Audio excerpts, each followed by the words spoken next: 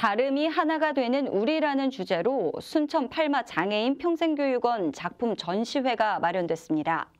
도예, 원예 등 다양한 작품을 만날 수 있는 전시회였는데요.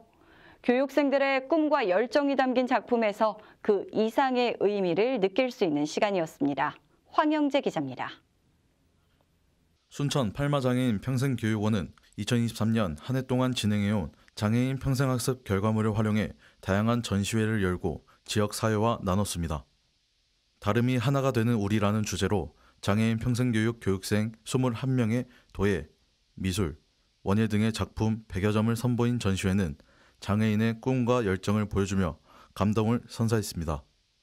지난 1일부터 5일까지 순천문화예술회관에서 진행된 캘리그라피 전시회는 장애인 교육생 8명과 지역 캘리그라피 작가들의 콜라보 전시로 장애인과 비장애인이 함께하는 문화예술의 장으로 호평받았습니다. 장애인들의 일상을 보면 어, 특수학교나 일반 학교 장애인 가정을 다 지나고 난 다음에 그들이 할 수 있는 게 없어요. 그런데 장애인들에게 평생 교육의 기회를 제공하고자 저희가 3, 4년 전부터 어, 이렇게 지역 장애인들을 위해서 교육을 하게 되었습니다. 네.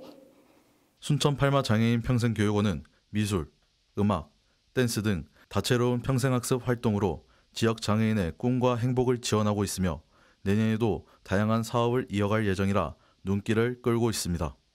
복시TV 뉴스 황영재입니다.